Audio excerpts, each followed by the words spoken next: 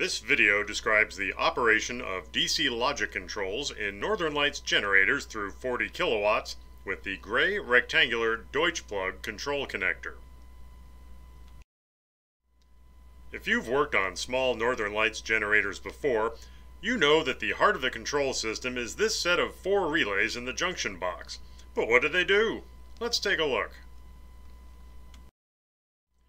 Keep in mind that this discussion applies to generators that use a gray, rectangular plug to connect to the control panel. If you have a black round plug, please refer to our Merc plug logic video. This diagram shows a simplified version of the generator control wiring. Several details, such as the alternator and gauge senders, are omitted for clarity. The drawing can be divided into three sections. First is the engine side. Note that we don't show the negative connection for the main engine components.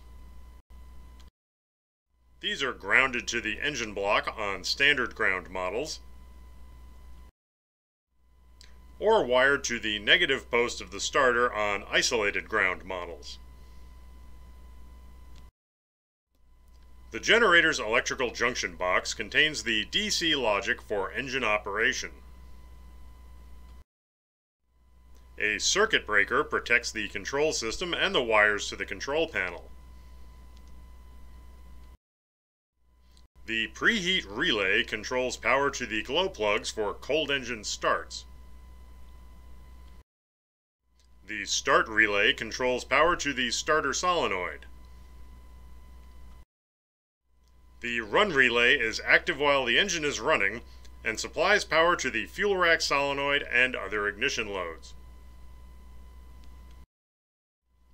The shutdown relay uses normally closed contacts to keep the run relay coil latched on while the engine is running. The blocking diodes prevent control power from feeding in the wrong direction during startup and operation. The protective shutdown circuit consists of three safety switches that close to battery negative and trigger the shutdown relay when there is low oil pressure, high coolant temperature, or high temperature at the wet exhaust elbow. The next section is the control panel, which contains control switches and panel meters. The preheat and shutdown bypass switch activates the preheat relay for cold engine starts and also keeps the engine running until oil pressure builds up right after starting. The generator control switch provides start and stop control. Simple control panels include only an hour meter and run light, while more advanced panels add pressure, temperature, and DC voltage gauges. The panel is connected to the generator by an extension harness.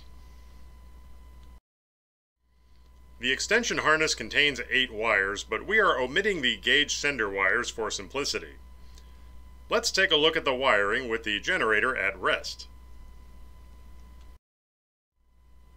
The negative side of the battery is connected to the preheat, run, and start relay coils, and to the start-stop switch and meters on the control panel. As there is no oil pressure, the oil pressure shutdown switch is active, connecting the shutdown circuit to battery negative. The positive side of the battery is connected to the contacts of the start and preheat relays. And after the circuit breaker, it connects to the run relay contact and both of these switches on the control panel. Now, let's run the genset. We begin by holding down the preheat and shutdown bypass switch. This energizes the preheat relay coil, which closes the preheat relay contacts and energizes the glow plugs. If the engine is cold, we can hold the preheat switch for 10 to 20 seconds before we crank the starter. The run relay control circuit is also energized through the lower blocking diode.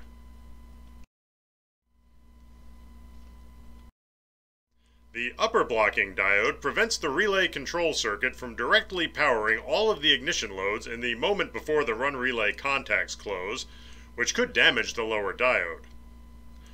The run relay control circuit powers the panel meters and the run relay coil. The run relay contacts close, energizing the ignition circuit. The ignition circuit powers the fuel rack and the shutdown relay. Because the shutdown relay is energized, the normally closed contacts are now open and the run relay is not latched.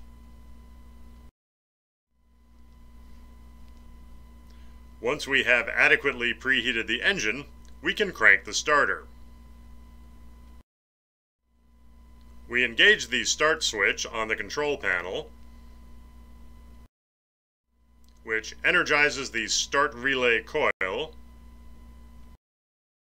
closes the start relay contacts, and cranks the starter. Once the engine starts, we can release the start switch. However, we need to hold the preheat bypass switch to bypass the safety shutdown system as oil pressure is still building. When the oil pressure is high enough, the shutdown circuit is disconnected from battery negative,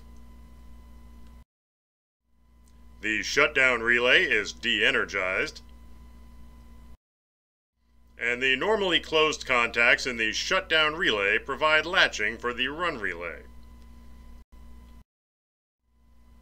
We can now release the preheat and bypass switch, de-energizing the preheat relay and the glow plugs.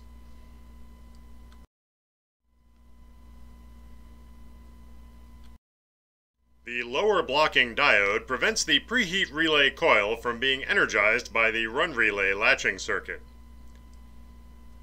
Now, we can continue generating reliable Northern Lights power for as long as we care but at some point we'll need to stop the generator.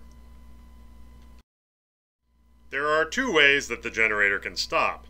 We can stop it manually via the control panel, or the safety shutdown switches will automatically stop the generator if the coolant temperature or oil pressure reach unsafe levels.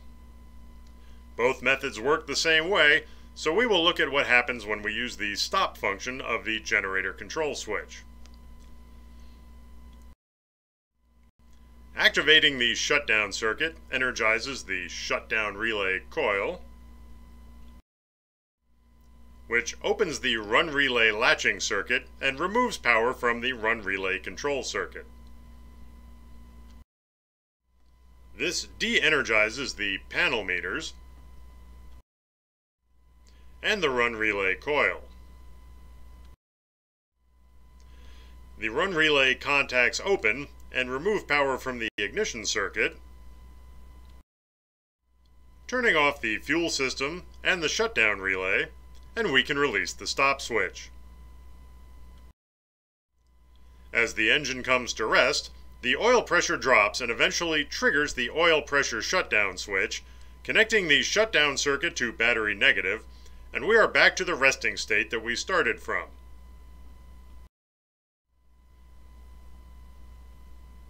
One last thing. If your generator uses an S3 control panel with engine gauges, you will find an additional relay mounted on the back of the panel. The reason for this is the blocking diode.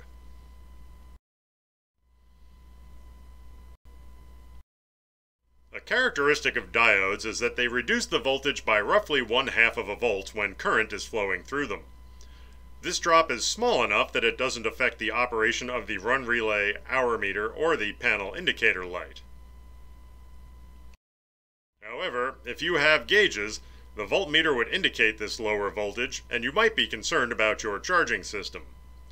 We alleviate this by supplying power to the gauges through a panel relay. When the circuit is energized, the panel relay supplies full voltage to the gauges.